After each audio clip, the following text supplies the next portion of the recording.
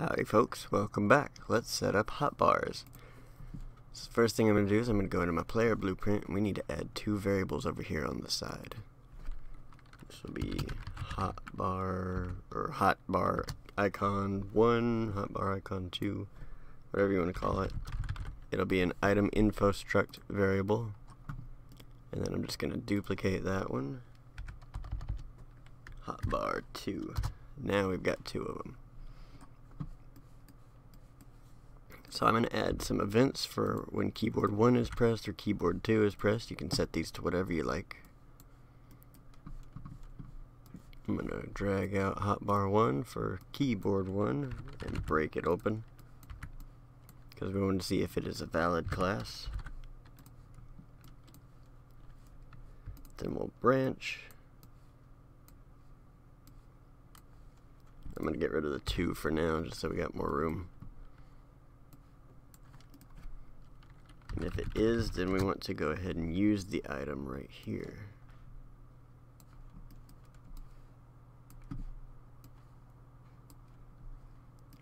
Then after we do that, we want to see how many of these will be left. So from this current stack, we will see if it is less than or equal to 1 at the time of use. We'll add a branch towards the end. And if true, then if it's less than or equal to 1, then we want to set the item hotbar key back to empty. I'm going to hide that real quick. I'm trying to do this one quick because I can't usually record during the day. You'll probably see why. But I wanted to get another video out to y'all. okay. Okay, so if it is less than or equal to 1, we want to just remove it completely from our hotbar slot. But if it's not, then we just want to affect the actual number. So we're going to copy this and paste it, but instead of leaving it empty, we're going to make our item info. And we're going to break this open one more time. And we'll just hook everything up except for the current stack. We will reduce that by 1.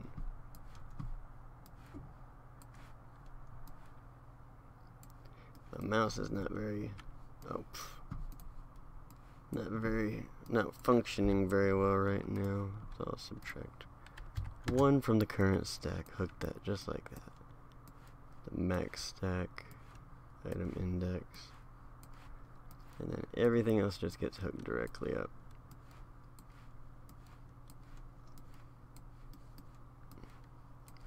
This thing's gotten long. Okay, just like that.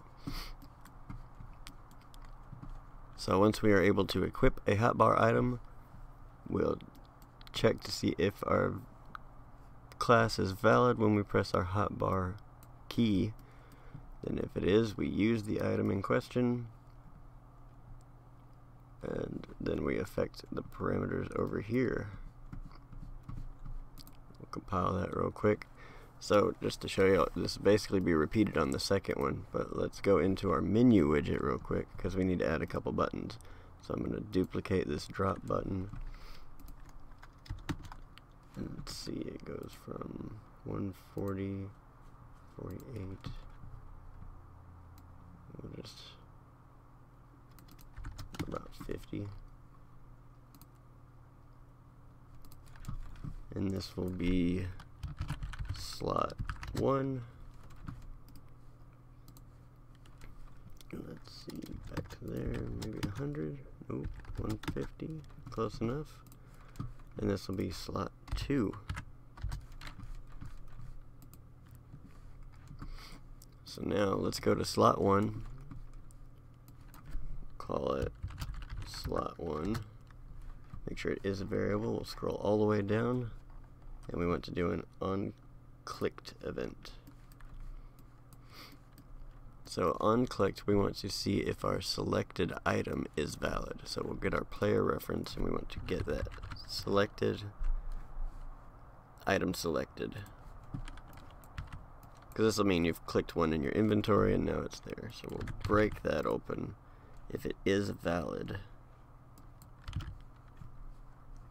is valid class.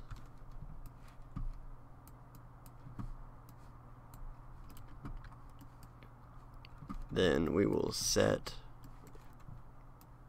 oops,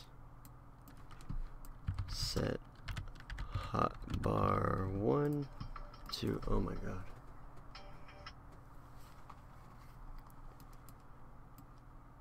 We will set hotbar one to our item selected.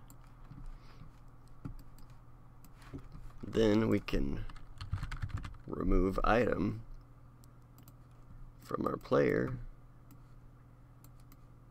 Since we have it equipped, we don't need it in the inventory, so we will take this over here. We'll hook the item selected info directly up. Then we can take this current stack for the amount removed. And for now, that's going to be good. We'll affect, we'll fix this in just one second. I want to check one thing just to make sure it is working.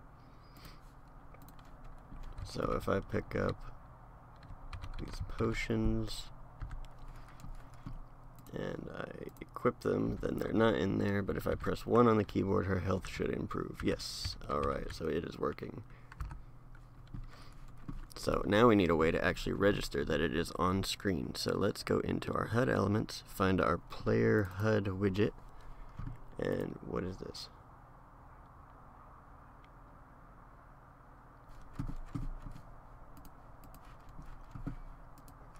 Oh, that's the gold. Okay. Well, I am going to move that um, up here for now because I want to set two images over here. Well, for now I'm just going to set one. So this is going to be 75 by 75. And then underneath it is going to be a text block. I need to get a new mouse. This is ridiculous. Alright, and so what this is going to be is it's going to have its image bound to the item info in that slot. So we can get our player reference, player reference, hotbar 1, and then just set that item image right there. If that doesn't work for some reason, like let's say it doesn't pop up with those particular, you can create the binding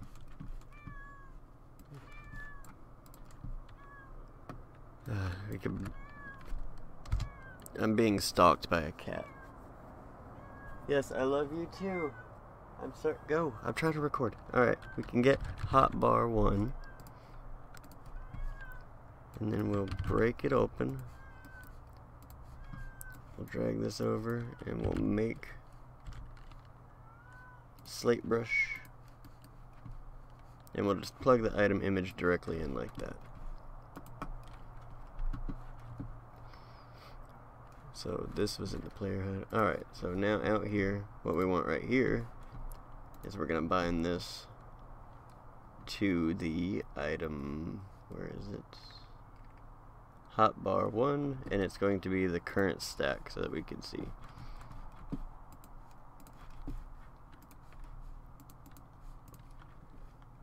So that's fine right now. So now let's see. So now I've got three in my hotbar one, two, one, and now it's empty, so it's gone back to nothing. Good deal. Now we need access none, try and read property player ref, player HUD. Oh, it's because I tried to push the button. Well, there was nothing there.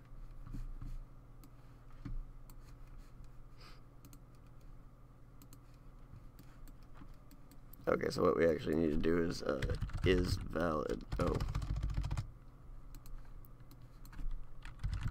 We'll do an is valid check here.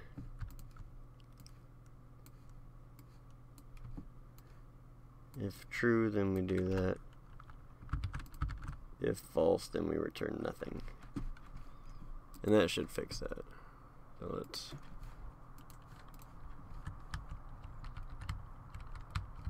say it now, it's just blank white. We'll equip that. It's all good. Yeah, and now it's gone back to nothing. Probably going to have the same error on the, the text. Item class, yeah.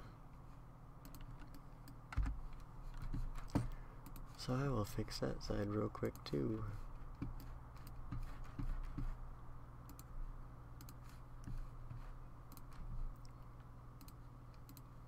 So probably better idea just to go ahead and create the binding every time. Instead of doing the quick way. Hotbar one. Break. Valid. Branch. Narrate. True. Boom Let's see what happens if I don't hook up the other side at all. Oh, it's just blank.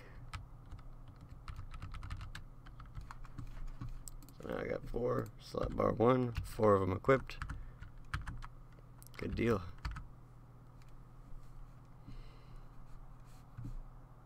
Access none trying to read. Why does it keep saying this? How are you accessing none in the player HUD that is established right from jump?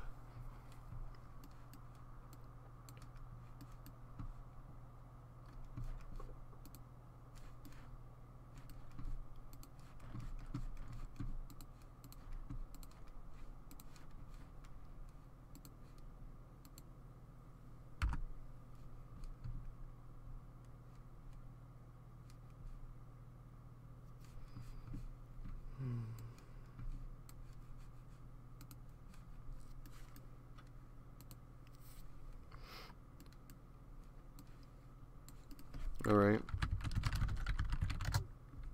If we can't use the reference, then I'll just hardwire it, just like that. So anytime it starts saying access none, for some reason it's not establishing the variable before it's pulling all this. It should be, but if it's not, what we can do is we can just go ahead and say cast to player directly in here, and that should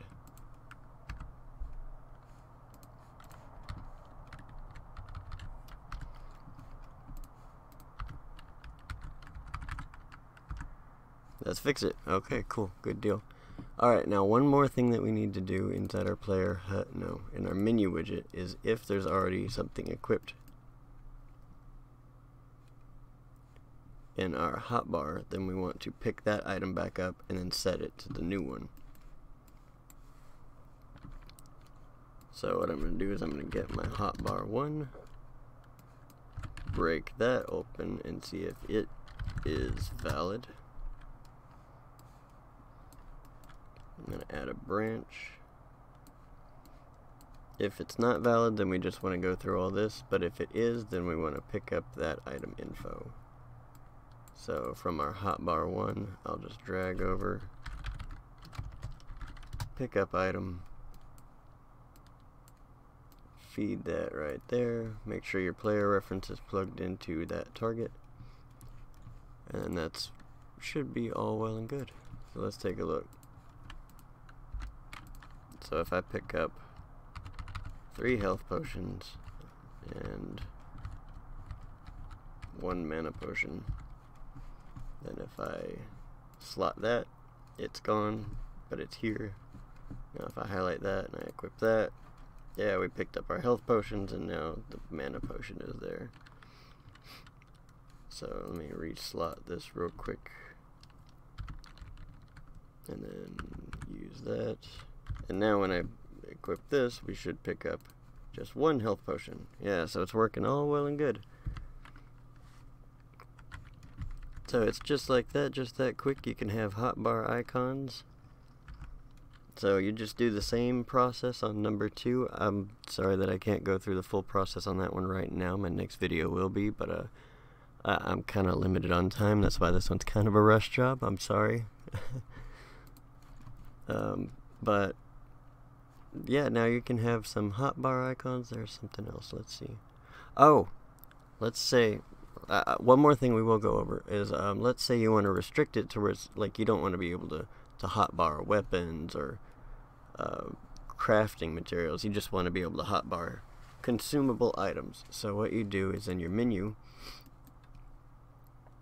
on the clicked slot one after you see that the item class for the item selected is valid, we'll get the item type and we'll do a switch.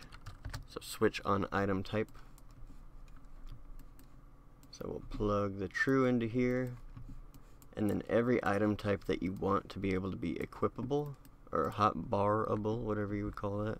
So for instance, health and mana items. Um, and for mine, that's probably all I'm going to do. But any item that you want to be able to hot bar, you would just plug in just like that. So now when I come out here, let me pick up a bunch of these shrubs. Some of these, some of that. Give me that. So now I can hotbar that. But I can't hotbar that. But I did pick up my item. That's... hey! Item duplication. Alright. Let's see. That's in the menu. So what we would probably do is actually reverse this. So let's um, put this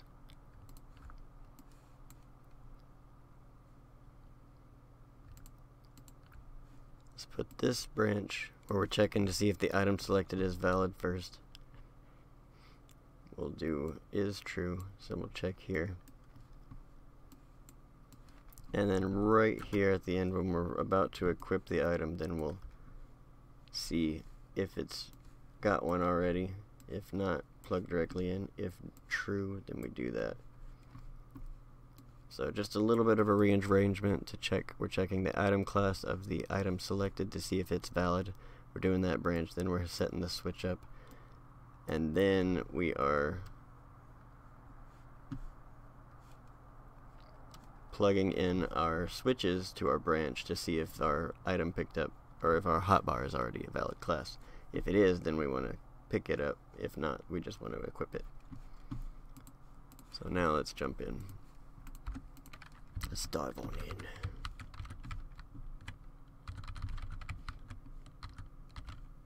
Alright, so now I can hotbar that. If I try to hotbar you, it does nothing. If I try to hotbar you, it does nothing. Yeah, now it's picking up appropriately. Alright, so there's a little bit of a workaround, but it's all working. So yeah, you would just do the same thing for slot number two, and when we return, I'll I'll go ahead and do a video on that one, um, and then we will do the same thing for magical spells. So yeah, I will see y'all soon. 拜拜。